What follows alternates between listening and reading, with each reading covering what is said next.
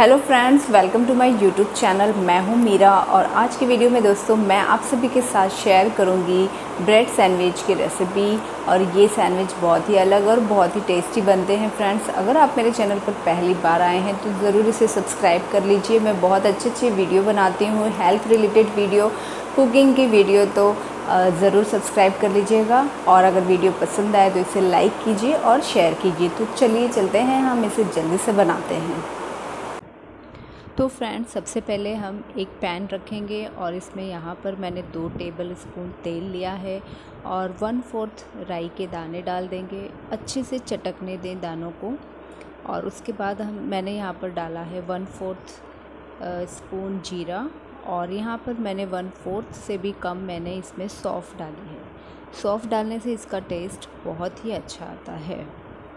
और ये जब अच्छी तरीके से दाने फूट जाएँ, चटक जाएँ, जैसा आप देख रहे हैं वीडियो में, इनको अच्छे से चटकने दें और उसके बाद हमने एक प्याज ली है उसे रफली आप काट लें छोटा छोटा और उसे भी अच्छे से भूनें, चलाकर इस तरीके से हिलाकर इसे भूनें।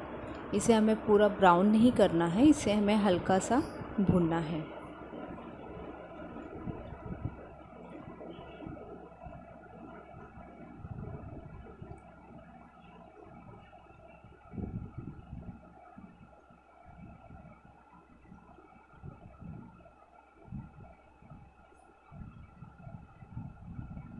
तो हम इस तरीके से प्याज को हमने भून लिया है और अब हम इसमें डालेंगे कटे हुए टमाटर। और इसे डालकर बस आप हिलाते रहिए थोड़ी देर तक।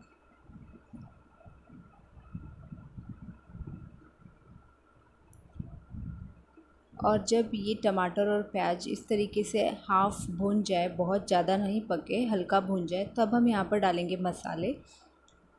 तो यहाँ पर मैंने डाला है हल्दी वन फोर्थ और एक छोटा स्पून है हाफ़ उतना रेड चिली पाउडर और इसमें धनिया पाउडर डाल दिया है वन फोर्थ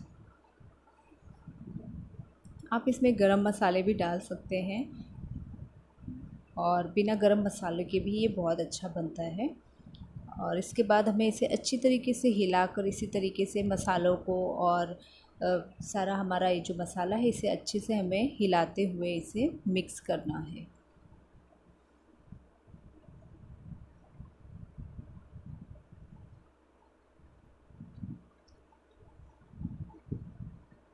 तो इसे कम से कम दो तीन मिनट तक आप हिलाइए और उसके बाद ये जो आलू है, आलू को उबाल कर मैश करके अच्छे से इसमें आपको डालना है।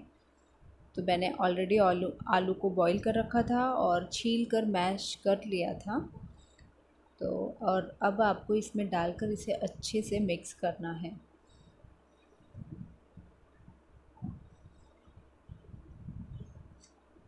अब हम इसे बहुत अच्छी तरीके से मिक्स करेंगे। तो जैसे आलू की सब्ज़ी बनती है तो उस तरीके से एक आप और स्वादानुसार नमक भी डालेंगे हम इसे। जितना आपको नमक कम या ज़्यादा आप जैसे लेते हैं, उस उतना नमक डालें स्वादानुसार और अब हम इसे अच्छे से मिक्स कर लेंगे।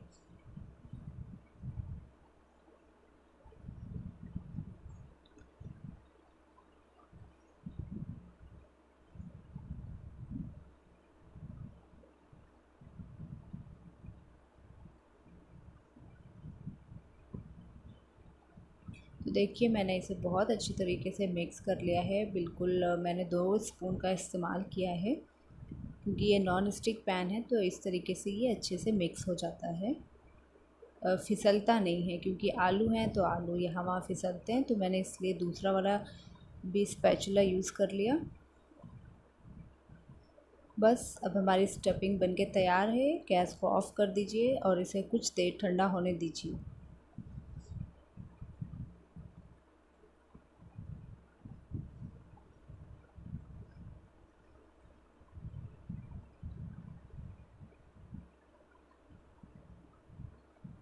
और देखिए मैंने ये ब्राउन ब्रेड तो लिया हुआ है। और ये टोटल चार ब्रेड हैं। और ये स्टफिंग हम इसमें लगाकर इसे हम फ्राई कर इसे जो है तावे पर सेकेंगे। तो इस तरीके से अच्छे से स्टफिंग कर लें। स्टफिंग जितनी अच्छी होगी सैंडविच आपके उतने ही अच्छी बनेंगे। और ये बहुत जल्दी बन जाता है। मतलब कोई इसमें आपको चीज़ या आप डाल सकते हैं जितना चाहे लेकिन ये सबसे आसान होता है। हमेशा ज़्यादातर आलू और ब्रेड हमेशा मिल ही जाती है घर पे तो आप कभी भी चाहें तो इंस्टेंट इसे बना के खा सकते हैं। इसमें आ, कम समय लगता है।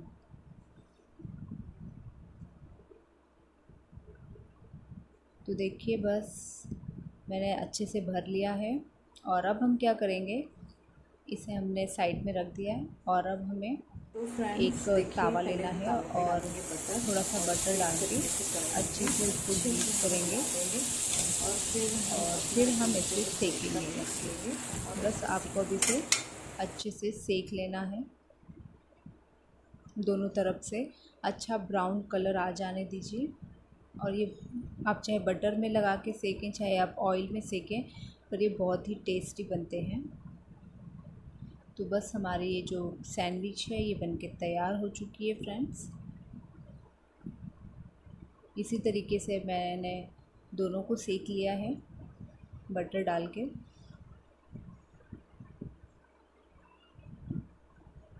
तो इस तरीके से तो बस ये सैंडविच आप देखिए बन के तैयार है गैस मैंने बंद कर दी और अब तो ये आप आराम से इसे सर्व कीजिए.